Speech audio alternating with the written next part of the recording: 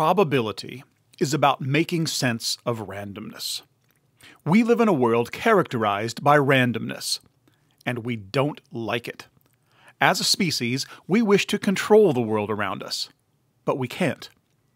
Fortunately for us, however, some clever little hominid developed the scientific method, and mathematics, and statistics to give us a way to describe the randomness in the world around us so that, rather than controlling it, we can adapt to it.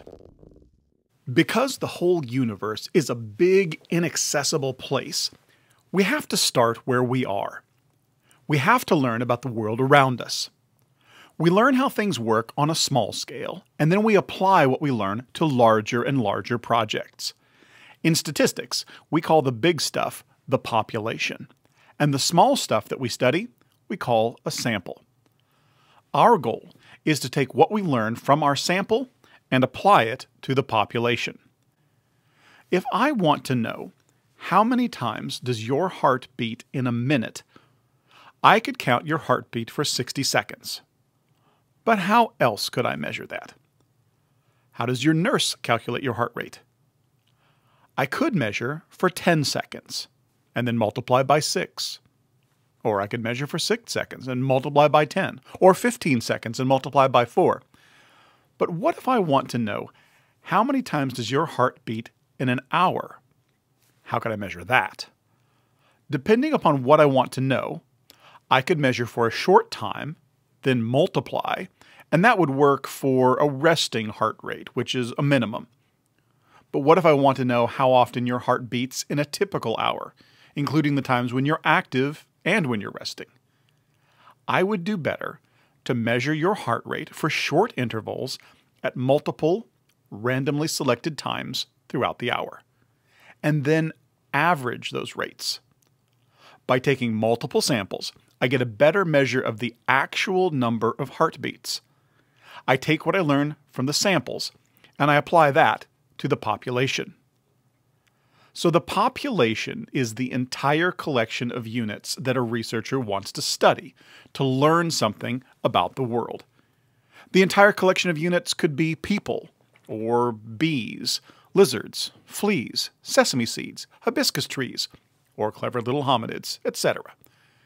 Each of the individual elements in the population is called a unit. We may call those units subjects as well. A sample is a smaller, but hopefully representative subset of units drawn from the population of interest. Subjects are participants in the sample. APA style is to call people participants. So if you're studying people, your subjects are participants. But if you're studying hibiscus trees, then your participants are subjects. We want to determine truths about a population but we only have access to a sample. We study the sample in hopes of generalizing what we learn back to the population. But of course, we can only generalize if our sample is representative of the population. That is, the sample should have the same characteristics as the population. But if the sample is not representative, then what we learn from the sample does not generalize back to the population. And this, in a nutshell, is what makes bad research bad. In poorly designed research, we learn only about the sample. Nothing that we learn from the sample applies to anyone else, so the research does not replicate. If someone else does the same study, they do not get the same results. Nothing is learned. No one has done science. And the research was a waste of time and money.